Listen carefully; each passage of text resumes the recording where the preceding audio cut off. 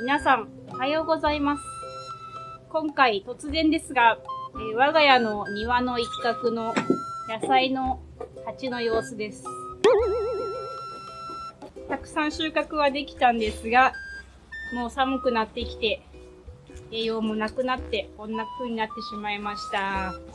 えーというわけで、今回はこのプランターの土を再生して、新しい苗を植えていきたいと思います。よろしくお願いします。よろしくお願いします。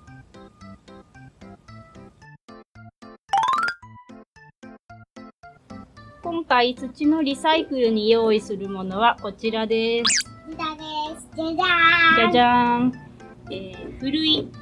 これは農作業用のふるいですね。あの、ホームセンターで買ったんですが、ザルとかでも代用できるみたいですが、えー今日はこのちゃんとしたふるいを使います。で、こちら土を置いとく用のレジャーシート。本当はあのプラスチックの大きめの平たいケースみたいなのがあるとえ便利なんですが、今回はそれはないので、家にあったレジャーシートを代用して使います。こちらが土のリサイクル剤です。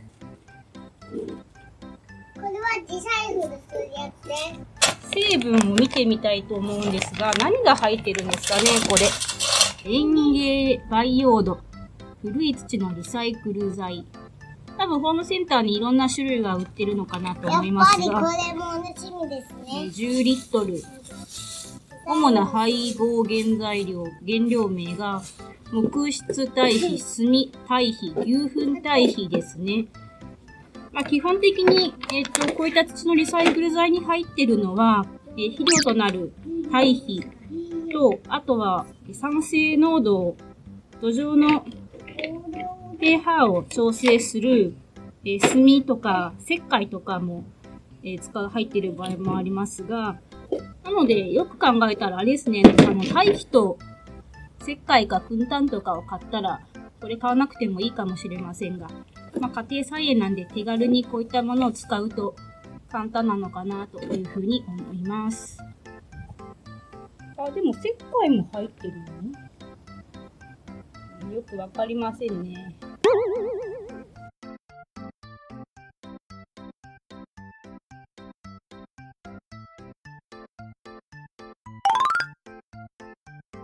グッドボタンとか、チャンネル登録よろしくね。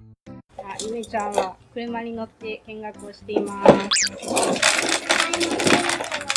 ナスはすごいですね。もう、水分がなくなって。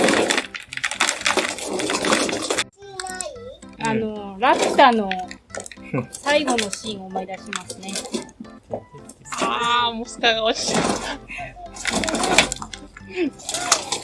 でも、頑張って土を落としていきます。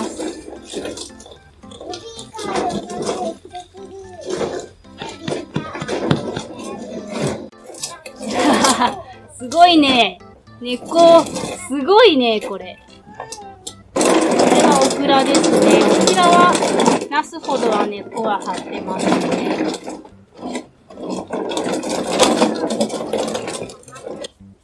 トマトも、麻紐を切って外して、深漬けしていきます。うわーカチカチですね。もう水分がなくなって軽いですよね。軽い、めっちゃ軽い。いやー、こんな状態で放っておいてごめんね、トマトさん。根っこはいりませんが、根っこにたくさん土がついているので、しっかりふるって土を落としていきましょう。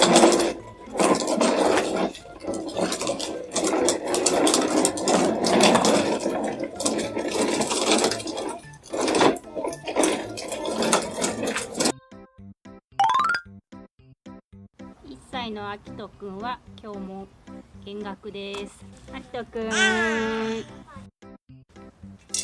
父さんは頑張ってます。いい運動ですね。明日筋肉痛になるかもしれませんね、腕が。絶対筋肉普段使わない筋肉ですからね。この再生剤の裏面を見てみると、手軽な使い方として、もうプランターのまま植物を除いて、再生剤を混ぜたら OK というふうに書いてますが、今回はこっちのより効果的な使い方という方で、ふるいをかけてゴミを除いています。本当はこの2の天日干しをするという工程があって、太陽光、日光を当てて熱消毒ですね、殺菌や殺虫をするという工程もありますが、今回はもうこれはやっていません。土の病気等が気になる場合は、この工程した方がいいかなと思います。そして、再生剤を古い土に混ぜて植え付けという風な形でやっていっています。やっぱりふるいにかけると根っこがいっぱい入ってるのがわかりますね。この根っこはポイします。中の石はに避けておきます。こちらの園芸用のふるいには3種類の網が入ってまして、一番細かい網と中ぐらいの網と一番粗い網ですね。今回はあの一番粗い網を使っています。あんまり細かい網を使うと土が引っかかって時間ばっかりかかってしまいますので、今回は一番粗い網を使っていっています。手挟んじゃ挟まれないと思う。う。寝てるか？お尻、お尻のところにさ、ハサミみたいなのがあるでしょ？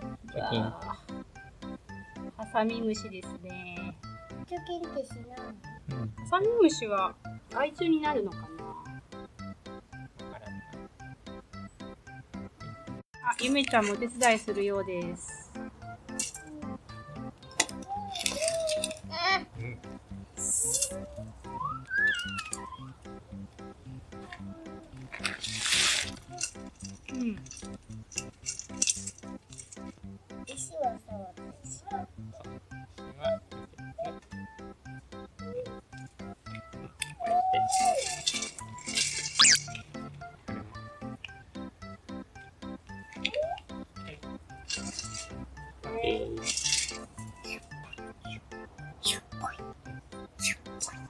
ケー。よ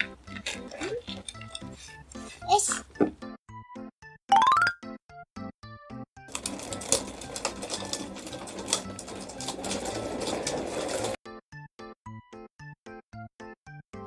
はい、これだけ土が振るい終わりました。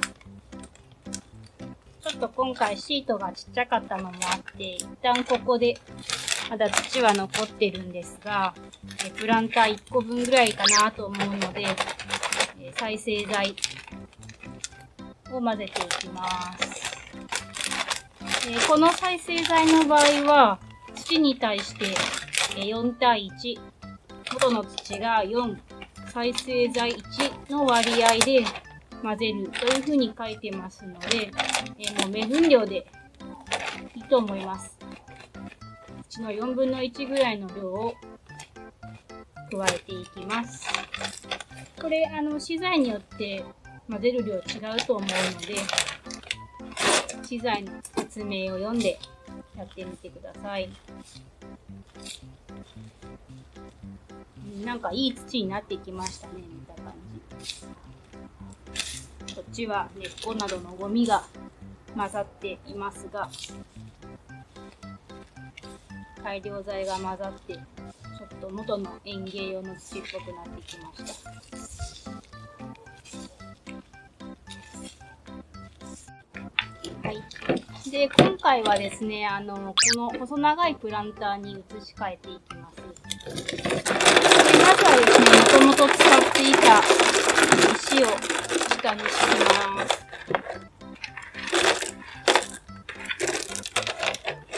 11月中旬でまだ植えられる野菜もいろいろあるんですが、娘も花が好きということと、私がネギを植えたいと言ったんですが、我が家はみんなネギが嫌いなのでネギは却下されてしまいまして、お花になりました。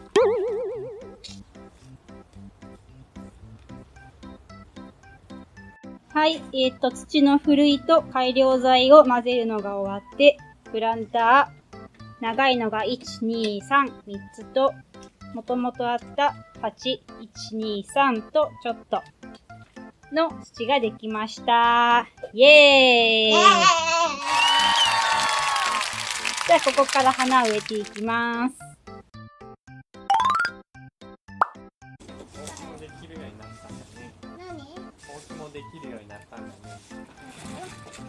花を買ってきました。みーちゃんパンジーなんだ。あーじゃあ、これ植えていきましょう。やっぱり再生剤を入れると土の感じが変わっていい土になってますね。うん。